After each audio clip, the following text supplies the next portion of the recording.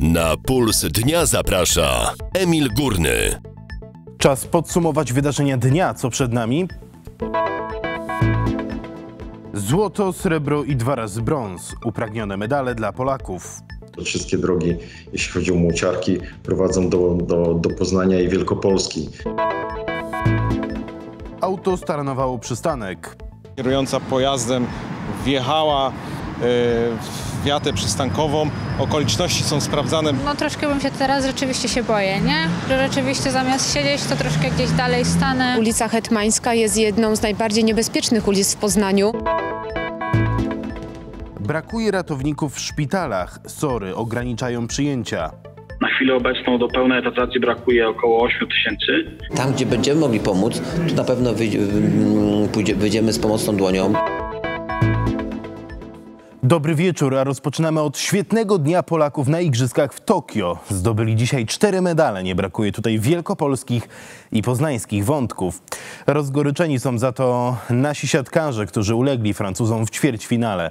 Tym tematem zajmuje się nasz reporter Bartosz Bartkowiak, który także dzisiaj przecież śledził dla Państwa to, co dzieje się w Tokio. Dobry wieczór, Bartku. No właśnie, powiedz w takim razie, kto wróci do Poznania z medalem. Wypada tutaj w pierwszej kolejności powiedzieć o naszych poznańskich medalistach, więc do Poznania z medalem wróci Karolina Naja, która zdobyła e, srebro w kajakarstwie razem ze swoją e, partnerką e, z Anną e, Puławską w kajakarstwie K2 na 500 metrów e, zdobyły e, srebro, startowały z czwartego miejsca. Do Poznania z medalem wróci także Tadeusz Michalik, poznański zapaśnik, który zdobył e, brąz w kategorii wagowej 97 kg i to także nieco romantyczna filmowa historia, bo jeszcze przed rokiem mm, zawodnik Sobieskiego Poznań zmagał się z problemami zdrowotnymi, a dzisiaj w pięknym stylu pokonał, pokonał Węgra i zdobył e, brązowy medal Igrzysk Olimpijskich. E, W tym momencie wypada także e, powiedzieć o naszych pozostałych medalistkach. Tak, dokładnie medalistkach i tu także nie brakuje wielkopolskich wątków, no bo przecież mm, brązowy medal zdobyła Malwina Kopron w rzucie młotem. Ta zawodniczka jest akurat z Lublina, ale złoto zdobyła Anita Włodarczyk także w rzucie młotem. Pochodząca z Rawicza zawodniczka rzuciła aż 78 metrów i 48 centymetrów. Na taką odległość poleciał, poszybował jej młot i z tym wynikiem udało jej się zdobyć złoto Igrzysk Olimpijskich. O tym, co także mówią komentatorzy, o tym także nam się udało porozmawiać z Radosławem Patroniakiem z Głosu Wielkopolskiego. Posłuchajmy. E, Anita Włodarczyk pochodzi z Rawicza i przez wiele lat reprezentowała barwy e, miejscowego klubu Kadet, potem AZS-u AWF Poznań. Z kolei Malwina Koproń była przez pewien czas w grupie trenera, słynnego trenera poznańskiego Czesława Cybulskiego. Joanna Fiodorow jest e, od, od wielu lat zawodniczką AZS Poznań, więc można powiedzieć, że wszystkie drogi, jeśli chodzi o młociarki, prowadzą do, do, do Poznania i Wielkopolski. Więc 3 sierpnia kończymy z dobrym, wręcz znakomitym dorobkiem medalowym e, Polaków. E, Cztery medale udało nam się dzisiaj e, uzyskać na Igrzyskach Olimpijskich w Tokio, ale nieco powodów do rozgoryczenia, do żalu mają polscy siatkarze, którzy na pewno obiecywali sobie więcej po tej imprezie olimpijskiej w Tokio. Niestety ulegli dzisiaj oni Francuzom w ćwierćfinale 3 do 2 po tiebreaku. I tu niestety taka mała klątwa ciąży nad polskimi siatkarzami, bo już od 2004 roku co Igrzyska Olimpijskie niestety polscy siatkarze w ćwierćfinale żegnają się z olimpijską e, przygodą i na ten temat dzisiaj wieczorze WTK rozmawialiśmy z Radosławem Nawrotem z portalu interia.pl. Posłuchajmy. To są takie bardzo emocjonalne chwile, bo jesteśmy dosyć krótko po tym spotkaniu. W dalszym ciągu mamy przed oczami obraz y, tych zawodników zalanych łzami, rozpaczających. Yy, Przecież Fabian Drzyzga, czy, czy, czy, czy nie wiem, czy Bartek Kubiak, no to nie widzieliśmy ich do tej pory w takiej sytuacji. Oni nam się kojarzyli na, do tej pory jako gladiatorzy, zwycięzcy herosi, mistrzowie świata. Oprócz tych dzisiejszych czterech medali należy tutaj dołożyć dwa wcześniej zdobyte przez polskich sportowców. Jako e, pierwsze e, srebrny medal udało się uzyskać w wyślarskiej czwórce podwójnej e, kobiet w składzie Agnieszka Kobus-Zawojska, Marta Wieliczko, Maria Sajdak i Katarzyna Zilman, mm, a później udało się złoto mm, zdobyć polskiej sztafecie mieszanej w składzie Kajetan Duszyński, Natalia Kaczmarek, Justyna Święty-Ersetic i Karol Zalewski. To te dwa medale, które wcześniej mm, Polacy zdobyli, a dzisiaj 3 sierpnia kolejne cztery mm, dołożyli, w tym także i poznańscy e, sportowcy, zawodnicy Sobieskiego Poznań czy poznańskiej e, Poznani.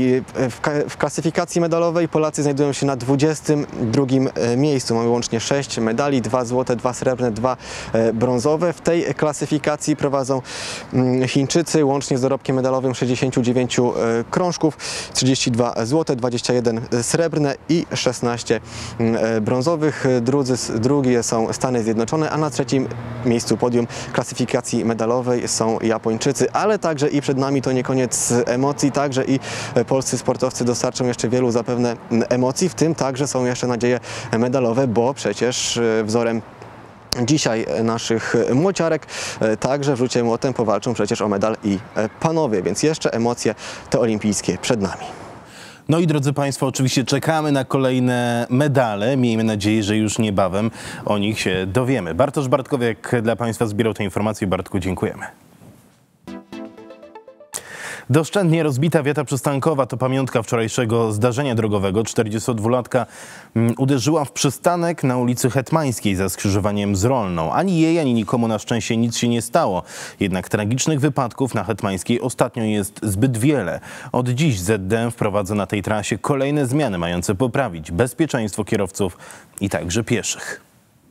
No troszkę bym się teraz rzeczywiście się boję, nie? Że rzeczywiście zamiast siedzieć, to troszkę gdzieś dalej stanę, żeby było bezpieczniej. Bo jak się okazuje, pasażer czekający na tramwaj w Poznaniu powinien zachować wyjątkową czujność. Ta przystankowa wiata nadaje się już tylko do rozbiórki. Zdarzenie miało miejsce wczoraj wieczorem około godziny 21.45. Yy, z informacji tutaj kolegów z nadzoru wiem, że kierująca pojazdem wjechała w wiatę przystankową. Okoliczności są sprawdzane. Wiadomo, że na pasie hetmańskiej za ulicą Rolną, za przystankiem pracowali wygrodzeni słupkami robotnicy naprawiający studzienkę kanalizacyjną. Być może 42-latka przeszkodę zauważyła w ostatniej chwili i dlatego nieoczekiwanie uderzyła w bok w wiatę.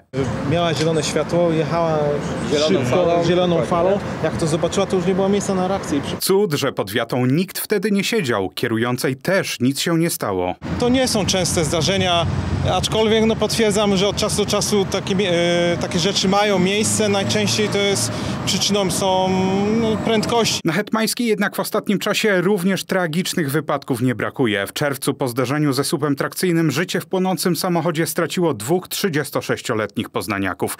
Na początku lipca na przejściu dla pieszych została śmiertelnie potrącona 26-latka. No nie może być tak, że piesi y, na przejściu dla pieszych są zabijani, rozjeżdżani przez pędzących, y, przekraczających prędkość kierowców. Dlatego w połowie lipca urzędnicy ograniczyli na Hetmańskiej pomiędzy Rolną a Głogowską prędkość do 50 km na godzinę. Dziś w życie wchodzą kolejne zmiany. Dzisiaj wieczorem ma być też również wprowadzone całodobowo, całodobowa sygnalizacja świetna. Do tej pory w godzinach wieczornych sygnalizacja była wyłączona. Od dzisiaj będzie już działała, czyli i piesi, i kierowcy będą już musieli zwracać uwagę na oznakowanie. To ma przeciwdziałać nocnym rajdom, których, jak wskazują mieszkańcy, na Hetmańskiej wciąż nie brakuje. Wyścigi, które się tutaj dzieją na tej trasie. Wiecie panowie, że wjazd na przykład w ogóle pod, pod, pod wiadukt to był horror ponieważ jest to y, jednak przestrzeń y, zabudowana. Policja zapewnia, że kontroluje ruch na tej ulicy również w nocy. Te kontrole teraz obecnie są e, dynamiczne e, za, e, za pomocą policyjnego radiowozu, natomiast te wyznaczone miejsca, te konkretne wyznaczone miejsca pozwolą dodatkowo te kontrole jeszcze nasilić o statyczne kontrole za pomocą tych mierników prędkości. O policja zwróciła się już do władz miasta o wyznaczenie oznakowanych stref kontroli wraz z zatokami dla radiowozów, a urzędnicy ZDM chcą, by na Hetmańskiej w ogóle pojawił się stały fotoradar. Prowadzimy również korespondencję z Głównym Inspektoratem Transportu Drogowego na temat tego, aby ustawić radar, czyli pomiar prędkości na ulicy Hetmańskiej na odcinku między ulicą Dmowskiego a Kolejową. Na razie decyzji Inspekcji Transportu Drogowego w tej sprawie jeszcze nie ma. Krzysztof Czub, Puls Dnia.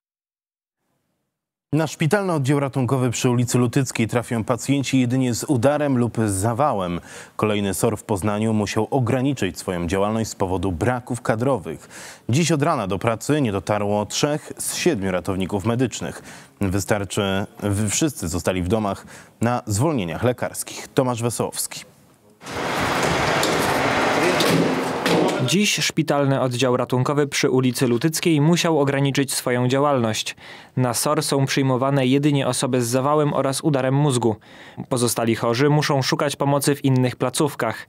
Rzecznik szpitala wojewódzkiego nie chciał dziś przed kamerą komentować tych ograniczeń. Od niemalże tygodnia w podobnej sytuacji jest szpital na Przybyszewskiego. Generalnie sytuacja w szpitalu wygląda tak, że z dwóch naszych działających ich izb przyjęć e, działa pełnym zakresie Izba Przyjęć zlokalizowana w naszej jednostce przy ulicy Grunwaldzkiej. Szpitalne oddziały ratunkowe, ten przy Lutyckiej i Przybyszewskiego, ograniczyły swoją działalność ze względu na braki kadrowe. Które są pochodną masowych e, zachorowań wśród e, personelu Izby. Ratownicy medyczni w całej Polsce masowo odchodzą na zwolnienia lekarskie. Dziś w pracy w szpitalu przy Lutyckiej stawiło się ich tylko czterech z siedmiu. Jak zaznacza Piotr Dymon, przewodniczący Ogólnopolskiego Związku Zawodowego Ratowników Medycznych, ratownicy są przemęczeni i przepracowani.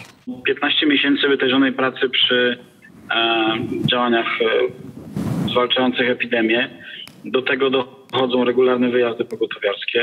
E, no, nikt nie jest ze stali. Prędzej czy później no materiał każdy pęknie. Jednak nieoficjalnie ratownicy medyczni w ten sposób protestują przeciwko zbyt niskim zarobkom. Rzeczywiście, jeżeli chodzi o personel służby zdrowia, to są tu pewne problemy, przede wszystkim problemy płacowe. To na co dzień widzimy, jeżeli chodzi o nasze e, szpitale, chodzi o kadrę medyczną, e, o personel niemedyczny, który, który oczekuje podwyżek no, związane z inflacją. Na tych pieniędzy w systemie jest po prostu za mało. W ubiegłym tygodniu na 260 ratowników medycznych zatrudnionych w Wojewódzkiej Stacji Pogotowia Ratunkowego w Poznaniu Poznaniu 60 przebywało na zwolnieniach lekarskich. Sytuacja w Poznaniu to nie jest sytuacja jednostkowa. To są sytuacje, które mają w tym czasie miejsce w całym kraju. Aktualnie problemów z brakiem ratowników medycznych nie mają szpitale miejskie. Zastępca prezydenta Poznania Jędrzej Solarski zaznacza, że nie widzi zagrożeń dla mieszkańców miasta. Tomasz Wesołowski, Puls Dnia. Ponad 160 nowych zakażeń w kraju, zmarły cztery osoby. Czas na codzienny raport o stanie epidemii. Spośród 164 nowych potwierdzonych zakażeń koronawirusem, 4 wykryto w Wielkopolsce. W naszym regionie nikt nie zmarł z powodu COVID-19. W kraju tylko z powodu tej choroby zmarły dwie osoby, dwie kolejne ofiary miały choroby współistniejące. Od początku pandemii zmarło 75 265 osób. W pełni zaszczepionych jest za to 17,5 miliona Polaków. Oglądają Państwo Puls Dnia, co jeszcze przed nami? Rowerowy szlak obrzeżami Żurawińca. To się jeździ elegancko. Z tego względu, że znajduje się na terenach leśnych, wykonana została z, z naturalnych, przepuszczalnych kruszy. Zapewnia dojazd bezpośrednio do Pestki, ponieważ tam między osiedlami Bolesława Śmiałego i osiedlem Stefana Batorega jest dalej jeszcze trasa. Niebawem 15. Festiwal Dobrego Smaku. Nawet jak nie odwiedzimy centrum, to ten festiwal nas gdzieś w Poznaniu znajdzie. A w tym roku tematem jest śledź. Czy nad Stedeli doszło do próby gwałtu? Policja wszczęła postępowanie. Napastnik jest cały czas nieuchwytny. O sprawie piszemy dziś na naszym portalu wtk.pl. Do zdarzenia doszło wczoraj około południa na poznańskiej Cytadeli. Spacerując z dzieckiem w wózku zostałam napadnięta przez młodego zboczeńca. Mężczyzna minął mnie w jednej z parkowych alejek. Nagle poczułam czyjąś obecność za sobą. Przez chwilę nikt mnie nie mijał. Nagle mężczyzna chwycił mnie za ramiona i pośladki. Wykonując przy tym dziwne ruchy. Byłam przerażona, zachowywał się tak, jakby chciał mnie zgwałcić. Zaczęłam krzyczeć, wyrwałam się i uciekłam. On pobiegł w drugą stronę. Napisała to czytelniczka portalu epoznań.pl w liście do naszej redakcji. Kobiecie y, pomógł inny mężczyzna. Wiadomo, że na miejsce została wezwana policja, jednak nie udało się odnaleźć napastnika. Mężczyzna mógł mieć około 19 lat i około 180 cm wzrostu. Ubrany był w charakterystyczne jaskrawe pomarańczowe spodenki, miał czarny podkoszulek mm, i czarny plecak. Choć jeszcze nie odebrana, już cieszy się wielkim zainteresowaniem rowerzystów, bo ci już nie muszą jeździć pomiędzy Piątkowem a Naramowicami po ruchliwych ulicach. Mogą lasem, nową drogą po obrzeżach rezerwatu Żurawiniec. Północna szutrówka pokazuje, że przemyślany projekt niskim kosztem może idealnie spełnić marzenia cyklistów. Nową ścieżkę sprawdził dziś Krzysztof Czub. Wjeżdżam na Rubież, pięknie się tędy jeździ, lepiej niż tymi alejkami. Także pierwszy raz jak jechałem, to się zdziwiłem w ogóle, że jest ta droga, bo tu nie było tej drogi, ale się jedzie pięknie. Pozytywnie zaskoczonych rowerzystów przy Żurawińcu dzisiaj nie brakowało, bo choć ta kilometrowa droga rowerowa po obrzeżach rezerwatu jest jeszcze nie odebrana, to jednak już gotowa. Sama nawierzchnia została wykonana. Obecnie y, wykonawca, czyli Zakład Robót Drogowych y, zamawia y, oznakowania. Tak? To jest najważniejszy ostatni element, żeby ścieżka była bezpieczna i wszystkie wjazdy z dróg publicznych były odpowiednio oznakowane. O drogę starało się Stowarzyszenie Rowerowe Poznań. Ich projekt z 1400 głosami wygrał w ubiegłorocznej edycji budżetu obywatelskiego. Teraz spełniło się marzenie rowerowego połączenia na Ramowic z Piątkowem. Zapewnia dojazd bezpośrednio do Pestki, ponieważ tam między osiedlami Bolesława Śmiałego i osiedlem Stefana Batorega jest dalej jeszcze trasa, więc y, otwiera bardzo fajne możliwości takiego dojazdu niezależnie od samochodów w otoczeniu przyrody, więc y, bardzo się cieszymy, że ta realizacja nastąpiła. A od drogi dobudowano też wiele odgałęzień. Będziemy mogli zjechać y, wieloma łącznikami y, od Umultowskiej, później y, parę zjazdów przy ulicy Łużyckiej, a również na osiedle Bolesława Śmiałego. Drogę udało się wkomponować w stary ślad bez wycinania drzew. Kiedyś ta ścieżka taka wąziutka, te dziury, to, to było bardzo niebezpieczne. Teraz bardzo dobrze się jeździ. Taka była błotnista po deszczach. No a teraz jest no, szersza i na początku myślałem jeszcze zanim nie było zwalcowane, że tak będzie to taki grubszy, ale później jak już walec przejechał, no to się jeździ elegancko. Choć jednak są i tacy, którzy woleliby pod rowerowym kołem większy komfort. Droga jest jednak krzywa. No. Jak ktoś sobie zaprojektował, że nasypią tam trochę tłucznia, a na to drobniejszy ka kamyszek i, i przelecą wa walcem. Jednak taka szutrowa nawierzchnia jest w tym miejscu celowa. Z tego względu, że znajduje się na terenach leśnych, wykonana została z, z naturalnych, przepuszczalnych kruszyw. Tak? Należy zaznaczyć, że nie przebiega bezpośrednio przez rezerwat. Jest na terenach leśnych, ale przez sam rezerwat y, nie przebiega, ponieważ jest to teren chroniony. Teraz przy tym przejściu dla pieszych ma powstać jeszcze oświetlenie, które zwiększy bezpieczeństwo rowerzystów. W tym roku na budowę dróg rowerowych tylko Zarząd Dróg Miejskich przeznaczy 20 milionów złotych. Te środki będą przeznaczone nie tylko na budowę drogi rowerowej na ulicy Grunwaldzkiej czy na ulicy Złotowskiej. Te prace się już dzieją. Zaplanowane są również e, prace na ulicy Zwierzynieckiej, na ulicy Dolna Wilda. Prowadzimy też takie prace mniejsze, ale ważne dla mieszkańców, bo wynikające z budżetu obywatelskiego. W ramach tych prac ma powstać e, droga rowerowa na ulicy Ugańskiej. Ma być też zmodernizowany przejazd, e, właśnie przejście, które teraz funkcjonuje na ulicy e, Hetmańskiej i Dmowskiego. Krzysztof Czub, Puls Dnia. Ruszył remont pętli na Piątkowskiej. Tramwaje nie kursują więc do końca trasy winiarskiej. W tym samym czasie bimby ruszyły jednak w innej części miasta, czyli na rondzie Rataja, ale nie we wszystkich kierunkach. Szczegóły komunikacyjnych zmian przedstawi już teraz Maciej Szefer. Ruszył remont pętli tramwajowej przy ulicy Piątkowskiej. Wymieniane będą tutaj szyny tramwajowe i montowane zupełnie nowe rozjazdy, by zapewnić bezawaryjne funkcjonowanie tutaj komunikacji tramwajowej. Ale na czas tych prac nie kursują tutaj tramwaje. Linie numer 11 i 99 dojeżdżają za pomocą tramwajów e, dwukierunkowych do przystanku osiedle Winiary i z tego przystanku jadą też e, w kierunku centrum.